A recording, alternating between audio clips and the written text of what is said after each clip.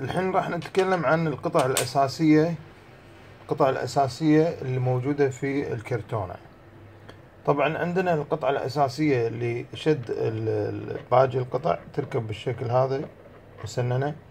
قبل لا نركبها طبعا نركب القطعة اللي نرغب في استخدامه حسب القياس اللي موضح عندنا. عندنا تقريبا واحد اثنين ثلاثة أربعة خمس ست قياسات مختلفة ممكن نثبت الخامة إذا كانت في قياس مقارب أو نستخدمها لتثبيت بعض الإكسسوارات الثانية مثل هذه القطعة أو هذه القطعة ونستخدم معاها القياس المناسب.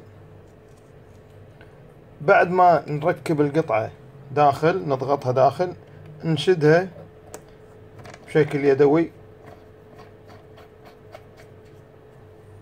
بعدين نكمل عليها بالأدوات المرفقة معاها اللي هو مفاتيح الشد نشد نشد بشكل بسيط.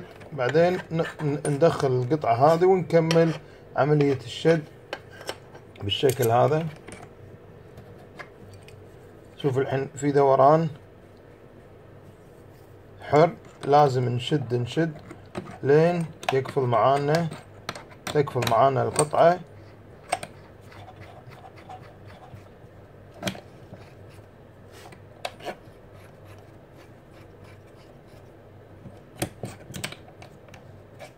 بالشكل هذا. هاي الحين القطعة ثابتة بشكل جدا متين.